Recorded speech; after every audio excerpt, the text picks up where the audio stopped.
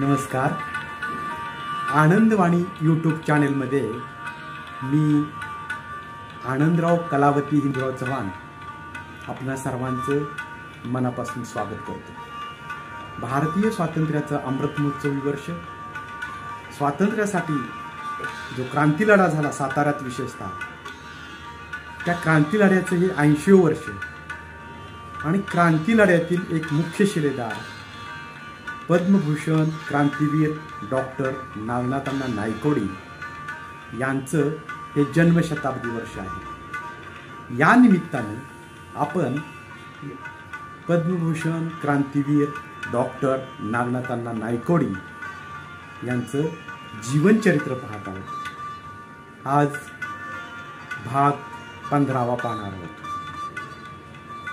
स्वातंत्र्य संग्रामामध्ये तिन्ही स्वातंत्र्य योद्ध्यांनी ऐतिहासिक कामगिरी बजावली. ब्रिटिश सत्तेला धडकी बसावी असे काम त्यांनी क्रांती केले. किसनवीर यांना ब्रिटिश सत्तेने एरोडा जेलमध्ये स्थानबद्ध केले होते. पण त्यांनी आपल्या साथीदारासह अभेद्य अशा एरोडा जेलच्या भिंतीवरून उडी मारून दिनांक एकतीस ऑक्टोबर एकोणीसशे बेचाळीस रोजी भूमिगत झाले. वसंतराव दादा पाटील यांनाही इंग्रज सरकारने अटक करून सांगलीच्या जेलमध्ये स्थानबद्ध केले होते.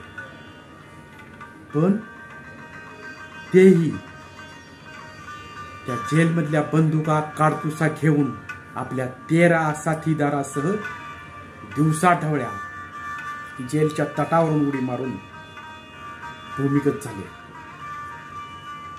दुर्दैवाने त्या झटापटीत ब्रिटिश पोलिसांच्या आणि स्वातंत्र्य सैनिकांच्या गोळीबारात वसंतदादांना जखमी झाले.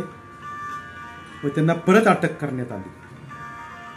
तसेच नागनाथांना नायकोडी यांनाही ब्रिटिश सरकारने रात्रीच्या वेळी पकडून वाळवा आष्टा इस्लामपूर असं करत करत सातारा येथील सब जेलमध्ये अभेद्य अशा तटबंदीच्या जेलमध्ये स्थानबद्ध केले होते. परंतु नागनाथ अण्णांनी दिनांक दहा सप्टेंबर एकोणीसशे चव्वेचाळीस रोजी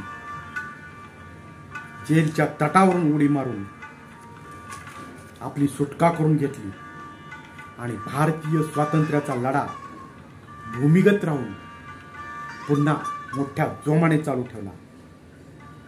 स्वातंत्र्य मिळाल्यानंतरही शेतकरी समाज बांधवांच्या शैक्षणिक सामाजिक आर्थिक विकास घडवण्यासाठी या तिघांनीही खूप मोठे प्रयत्न केले. किसनवीरांनी भुईंज तालुका वाई येथे एकोणीसशे एकाहत्तरमध्ये सहकारी तत्वावर साखर कारखाना काढला.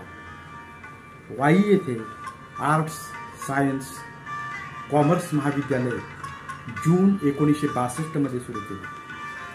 नागनाथांना नायकोडी यांनी वाळवा येथे जून एकोणीसशे एकोणपन्नास साली किसान शिकन शिक्षण संस्थेची स्थापना केली. आणि हुतात्मा किसनहीर विद्यालय सुरू केले. मुलांच्यासाठी हुतात्मा नानक सिंग वसतिगृह सुरू केले. मुलींच्यासाठी सावित्रीबाई फुले वसतिगृह सुरू केले व जिजामाता विद्यालय सुरू केले. या शिक्षण संस्थेच्या आर्थिक सोडवणीसाठी आर्थिक अडचणी सोडविण्यासाठी शेतकऱ्यांच्या सर्वांगीण विकासासाठी हुतात्मा किसनहीर सहकारी साखर कारखाना एकोणीसशे एक्क्याऐंशी साली सुरू केला. पुढे हुतात्मा नानक सिंग विद्यालय व क्रांतिशिवम नाना पाटील महाविद्यालय यांची उभारणी केली. आणखी काही शैक्षणिक संस्था काढल्या. शैक्षणिक या संस्थेच्या शैक्षणिक शाखा काढल्या. हुतात्मा किसन अहिर साखर कारखान्याने साखर उतार्यामध्ये राज्यातच नव्हे भारतात प्रथम क्रमांक मिळवला व तो अनेक वर्षे चालू ठेवला. हुतात्मा पॅटर्न म्हणून आज भारतात हुतात्मा पॅटर्न म्हणून कारखान्याची ख्याती आहे. वसंतरावदादा पाटील यांनी आशिया खंडातील सर्वात जास्त गळीत करणारा शेतकरी सहकारी साखर कारखाना माधवनगरमध्ये एकोणीसशे छप्पन्नमध्ये सुरू केला व बुधगाव येथे इंजिनिअरिंग कॉलेज सुरू केले. राजकीय क्षेत्रात तिघांनीही आपले बहुमोल योगदान दिले आहे. किसनवीर विधान परिषदेचे सदस्य व लोकसभेचे सदस्य होते. नागनाथांना नायकोडी दोन वेळा विधानसभेचे सदस्य होते.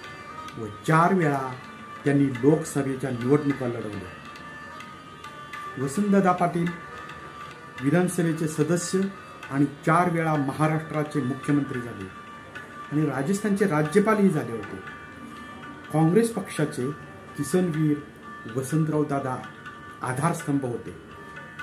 तसेच नागनाथांना नायकोडी डाव्या चळवळीत काम करणाऱ्या कार्यकर्त्यांचे पुरोगामी विचारवंतांच्या चळवळीचे परिवर्तनाच्या चळवळीचे आधारस्तंभ होते.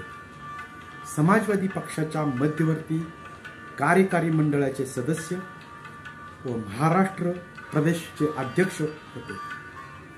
वरील तीनही लोकनेते शेतकऱ्यांचे खरेखुरे प्रतिनिधित्व करत होते. सामाजिक व राजकीय अन्याय दूर करण्यासाठी या तिन्ही नेत्यांनी पुढाकार घेतला होता. म्हणून त्यांनी महाराष्ट्राच्या जनमानसात स्वयंभू व स्वयंप्रकाशित व्यक्तिमत्व म्हणून आपले स्थान कायम केले होते. किसनवीर अल्पसंख्याक असूनही म्हणजे अल्प अल्पसंख्याक समाजातील असूनही त्यांनी स्वातंत्र्य मिळाल्यापासून सातारा जिल्ह्यातील काँग्रेस पक्षाचे नेतृत्व केले अगदी अखेरपर्यंत केले. यशवंतराव चव्हाणांचे विश्वासू सहकारी म्हणून त्यांना मान्यता मिळाली होती. वसंतदादा पाटील यांनी महाराष्ट्राचे चार वेळा मुख्यमंत्री पद राजस्थानचे राज्यपाल पद भूषवले. त्याचबरोबर दिल्लीमध्ये अखिल भारतीय राष्ट्रीय काँग्रेसचे सरचिटणीस म्हणूनही आणि उत्तर प्रदेश व दिल्ली प्रदेशमध्ये काँग्रेस पक्षाचे महत्त्वाचे कामे केले आपल्या कार्याने त्यांनी महाराष्ट्राचे नाव दिल्लीपर्यंत गाजवले. नागनाथ ओळख ओळख नसताना सुद्धा नागनाथ पंजाबमधील मनसा सिंग व नानक सिंग या दोन शीख तरुणांना दिल्लीहून सातारा जिल्ह्यात आणले. त्यांच्या मदतीने शिराळा पेट्यात स्वातंत्र्य सैनिकांना हत्यारे चालवण्याचे शिक्षण शास्त्रशुद्ध कवायत व लष्करी शिक्षण दिले.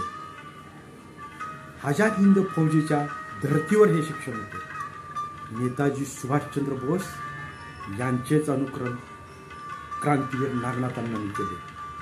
सातारच्या प्रतिसरकारच्या लढ्यातील नागनाथ अण्णांचे हे धाडसी सोनेरी अक्षरात लिहिण्यासारखे काम आहे.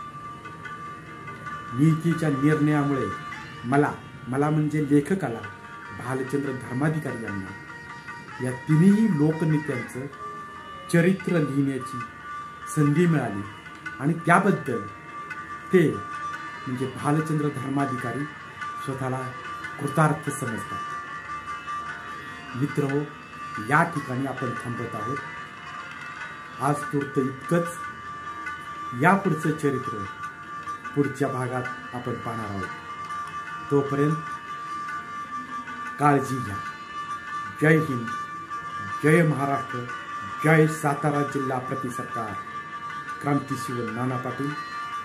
जय पद्मभूषण क्रांतीवीर डॉक्टर नागनाथांना नायकवडे धन्यवाद.